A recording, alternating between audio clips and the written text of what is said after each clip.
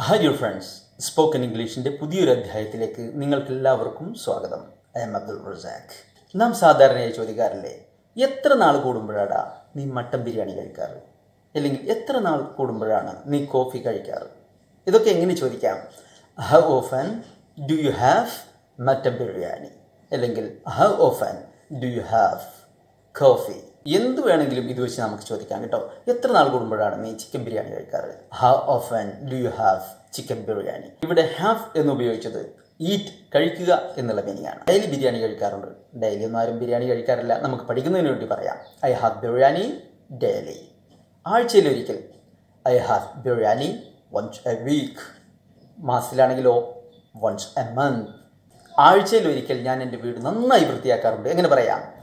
I clean the house thoroughly once a week daily ആണെങ്കിൽ daily ആഴ്ചയിൽ ഒരിക്കൽ ഞാൻ എന്റെ കാർ ക്ലീൻ ചെയ്യാറുണ്ട്.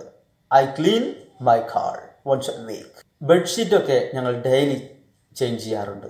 We change the bed linen bed linen എന്ന് പറഞ്ഞാൽ bedsheet we change the bed linen daily ആഴ്ചയിലാണെങ്കിൽ we change the bed linen once a week waste എടുക്കുന്ന ആൾ ആഴ്ചയിൽ ഒരു ദിവസം എല്ലാ വേസ്റ്റുകളും കളക്ട് ചെയ്യാറുണ്ട്. എങ്ങനെ പറയാം? The dustman collect the rubbish daily ആഴ്ചയിലാണെങ്കിൽ the dustman collect the rubbish daily exercise ചെയ്യുന്നതിന് വേണ്ടി ഡോക്ടർ റെക്കമെൻഡ് ചെയ്തു. എങ്ങനെ പറയാം? The doctor recommend daily exercise വേനലിൽ ഞങ്ങൾ പുല്ലൊക്കെ ആഴ്ചയിൽ ഒരിക്കൽ കട്ട് ചെയ്യും. In summer we mow our lawn once a week mow എന്ന് പറഞ്ഞാൽ എന്താണ്? പുല്ല് അരിയുന്നതിനൊക്കെയാണ്. പുല്ല് അരിയുക.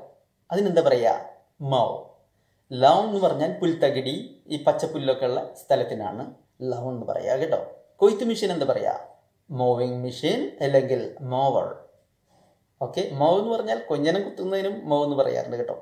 കൊയ്ത്ത് മെഷീൻ എന്താ പറയുക മോവർ അല്ലെങ്കിൽ മോവിങ് മെഷീൻ നിങ്ങൾക്ക് ഈ ചെറിയ വീഡിയോ ഇഷ്ടമായെങ്കിൽ നിങ്ങൾ ഇതെല്ലാവർക്കും ഷെയർ ചെയ്ത് കൊടുക്കുക. ഇനിയും സബ്സ്ക്രൈബ് ചെയ്തിട്ടില്ലെങ്കിൽ സബ്സ്ക്രൈബ് ചെയ്തോളൂ. ഓക്കെ അടുത്ത വീഡിയോയിൽ നല്ലൊരു ടോപ്പിക്കുമായി വീണ്ടും കാണാം. Thank you